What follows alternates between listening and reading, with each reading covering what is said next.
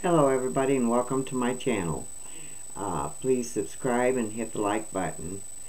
Uh, I appreciate it so much and I want to thank my subscribers I already have. They, they are so nice and I appreciate it so much. Well, JP Morgan CEO predicts what's coming next. I don't know if I've got any good news on all these articles tonight or not. You know, you just did, like um, one of my helpers that does my yard work, they said, just don't let it go to your head. But what do you do? You know, America's at risk here, either way you look at it. So how can you not help letting it go to your head? Well, just don't think about it. Really?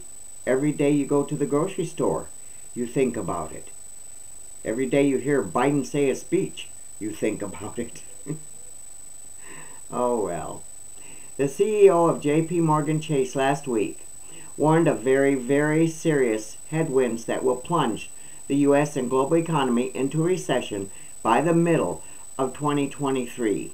Well, we've got a good start right now, I think. I could be wrong, like I've said many times. You know, Jamie Dimon told CNBC's Julianna Tatelbaum last Monday that a combination of inflation, high interest rates, the ongoing conflict in Ukraine will likely push the U.S., the rest of the world, into some kind of recession in the next six to nine months. But it's already started.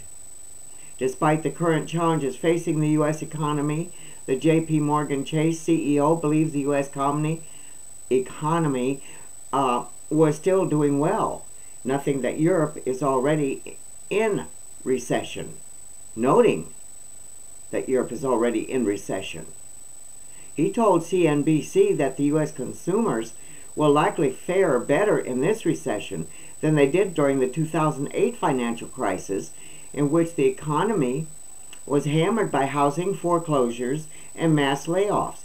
And I just read today or heard today on another channel there's going to be thousands of more layoffs in the very near future. And you know, um, around the holidays, it never fails. The factories start laying people off around the holidays. Some are lucky to get a little back pay, maybe, possibly. But then some are just left without. And it's always around the holidays. You know, many years ago, I could never figure that out, and I still haven't. many years later. Why do they pick the holidays to lay people off? That don't make sense to me. But anyway, Diamond also criticized the Federal Reserve for waiting too long and doing too little in raising interest rates to cool a 40-year high inflation. Now the Fed is clearing, clearly catching up, Diamond added. He said now we can only keep our fingers crossed that the Fed can slow down the economy. Asking about the severity, severity and the duration of an, an upcoming recession, Diamond wasn't sure. He said depending on what happens with the war in Ukraine, it can go from very mild to quite hard. The best thing to do, Diamond added, was to be prepared. Diamond also predicted that the SP 500, S&P 500 could easily drop by another 20% and that the next 20% would be much more painful than the first. Earlier this month, the KPMG survey found that 90% of CEOs believe a recession will occur in the next 12 months. It's already started. As to how severe this recession might be, only 34% believe it will be brief and not too painful. The vast majority expect the looming recession will be a difficult one. At.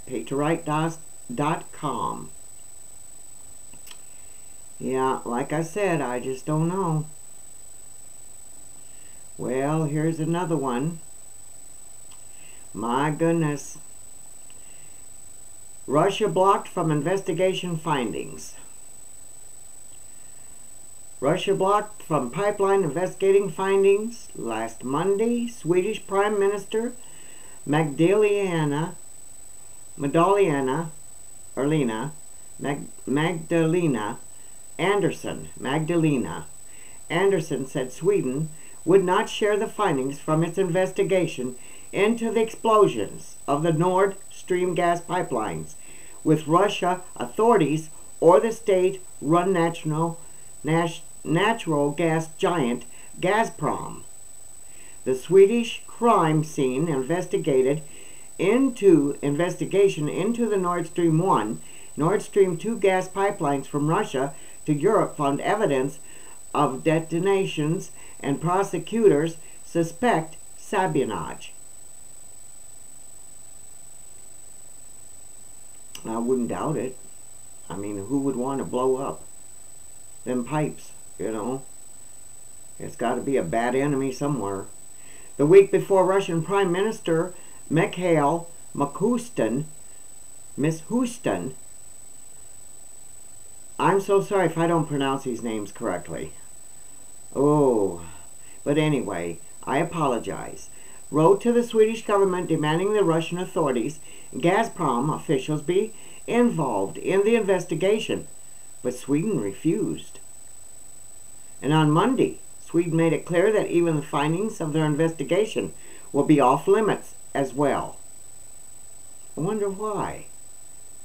Prime Minister Andersson said last Monday that the government won't share the findings with Russia authorities since in Sweden investigations are always confidential, including in this case. However, Andersson conceded that Sweden could not stop Russian vessels from visiting the site of the explosions, which were located within Sweden's economic zone now that the crime scene investigation has been completed. Now, why would Russia's vessels want to go see? What do they say? Only the criminal returns to the crime? Okay. Leave me your thoughts. On Thursday, Sweden also rejected plans to set up formal joint investigation team with Denmark and Germany to look into the pipeline explosions. Mats Ljungqvist, the prosecutor investigating the leaks, said Sweden was already cooperating with Germany and Denmark on the matter but would reject the proposal for a joint investigation team, JIT, from Eurojust, the Judicial Cooperation Agency. Eurojust, E-U-R-O-J-U-S-T. Eurojust, the Judicial Cooperation Agency. The Eurojust investigation would require Sweden to share the information from its criminal investigation, which it will not do since the investigation is confidential because it is directly linked to national security. The spokesperson for Swedish Security Services told Reuters, Reuters that the security police were closely cooperating with others internationally internationally as part of the criminal investigation. The German federal police completed their portion of the investigation into the alleged sabotage and have already handed over their findings. Yeah, that uh, saying uh, criminals always uh, usually will go back to their crime scene to see what they've done. Mm-hmm. But anyway, my, oh my, oh my.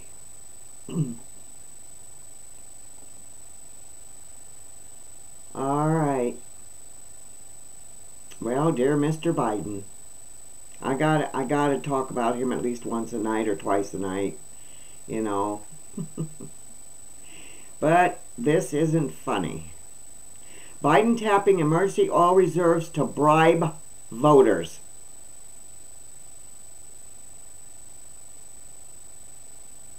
President Joe Biden plans to release even more barrels of oil from the federal government's strategic reserves to keep gas prices low before the midterm elections. Now, I've did a couple videos on this. I hope this isn't one I've done. I always put them in a file, but doesn't mean I haven't done them before. They seem to repeat in the news, you know. That's news, so it's repeated, repeated, repeated through all the their news channels, papers, news broadcasts, whatever.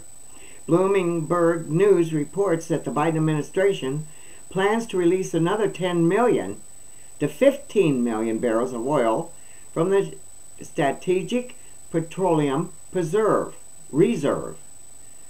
Let me get that correct. Biden's latest decision marks more than 200 million barrels set for release in less than two years as president, more than all previous presidents combined, according to the Wall Street Journal. He's always got to try to outdo somebody, don't he? But yet he don't understand what he's doing, what he's saying, what he's speaking. Saying and speaking, well, speaking more or less to a crowd, saying probably to himself up here, whatever. The oil reserves are currently at the lowest level since 1984. He's draining us in every aspect of the way. Despite Biden's historic oil releases to bring down the cost of gasoline, the OPEC nations announced their decision in October to cut oil production by 2 million barrels a day. The president expressed his disappointment with the OPEC and the Saudi Arabia's decision, despite administration officials working behind the scenes, urging them to delay their cuts until after the midterm elections. Bribery, bribery, bribery. Biden recently campaigned California where gas prices are nearly $7 a gallon. When asked about prices approaching $7 a gallon in the state, Biden replied, Well, that's always been the case here. Really? Despite gas prices rising again, Biden continues taking credit for gas prices declining from record highs in the summer. A lot of it is the result of getting the cost of living at the gas pump down by more. Now, even in California now, by more than a dollar nationally, and since the state start of summer. He said during a speech on Americans suffering from higher cost. original article, Joe Biden to release 10 to 15 million more barrels from emergency oil reserves. Breitbart.com. You can go there and read it.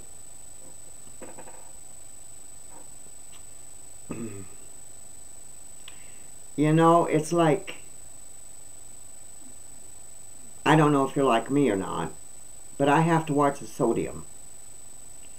And I open up a can of vegetables, and the first thing I do is I drain the juice, then I put them in a colander, and I rinse and rinse and rinse and rinse to get rid of all the salt that I possibly can.